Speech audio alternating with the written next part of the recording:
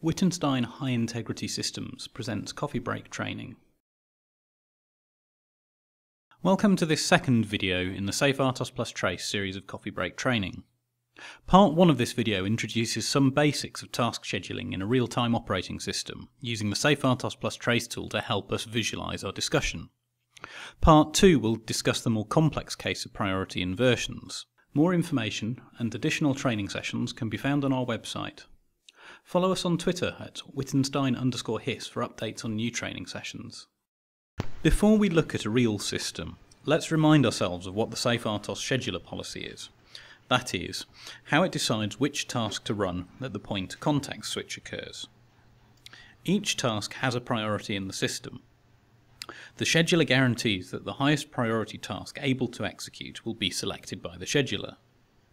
Tasks can be given equal priorities, and if equal priority tasks are able to run, they execute in round robin fashion when tasks of that priority are chosen to execute. Now let's see how that works in a specific example of a very simple system. This simple application has three main tasks.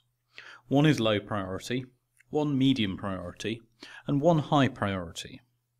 There are also an interrupt service routine and ISR handler, but we'll ignore those for now.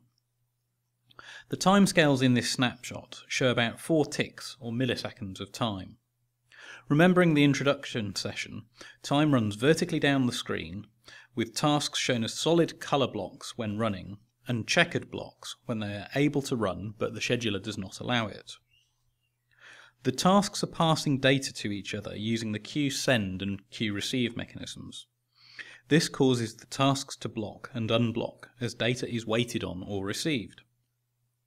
We can see how the SafeRTOS plus Trace GUI shows these events and the effects they have in unblocking tasks waiting on data. Starting from the top of this snapshot, initially the high priority task is paused for 3 ticks. Next to run would be the medium priority task, but this is waiting to receive data from a queue. Finally, the low priority task has been blocked by a delay call. So at the start of the trace, the idle task is running. As the tick occurs, the low priority task is unblocked as the delay expires. This allows the first queue send to occur. This immediately wakes the medium priority task, which has been waiting to receive the data. Because SafeRTOS is a preemptive real-time kernel, this unblocking of the medium priority task automatically causes a context switch, and the medium priority task starts running. This keeps to the guarantee stated earlier that the highest priority task able to execute will be selected when a context switch occurs. The high priority task is still blocked because of the delay statement. Immediately after the medium priority task has received the queue item, it in turn sends data to another queue before blocking for two ticks. As the medium priority task blocks, it allows the low priority task to run again and perform another queue send. The loop goes round another iteration with all tasks blocked, allowing the idle task to run until the next tick. In this tick, both medium and high priority tasks are still blocked by delays, so the low priority task can run. Unlike in the previous case, when data is sent to the queue, the medium priority task is still blocked by the delay statement so it doesn't wake up. Instead, the low priority task continues to run, sends another item to the other queue, and then delays for a further tick. This tick is more interesting. All three tasks happen to have finished their delays at the same time, and so enter the ready state at the same time. As we said in the scheduler policy, the highest priority task runs first. This performs two queue receives in turn before delaying for another three ticks.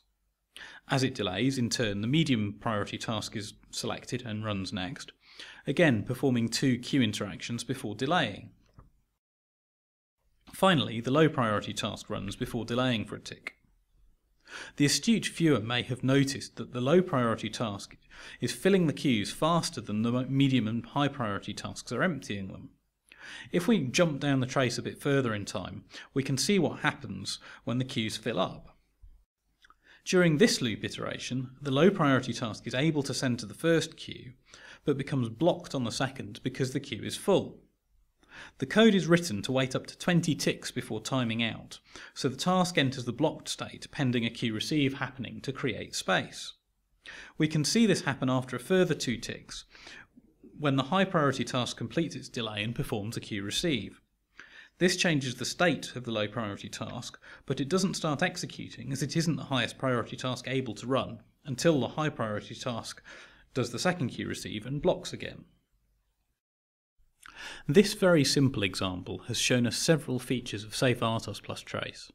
Firstly, the state transitions of tasks, including how task priorities affect the scheduler.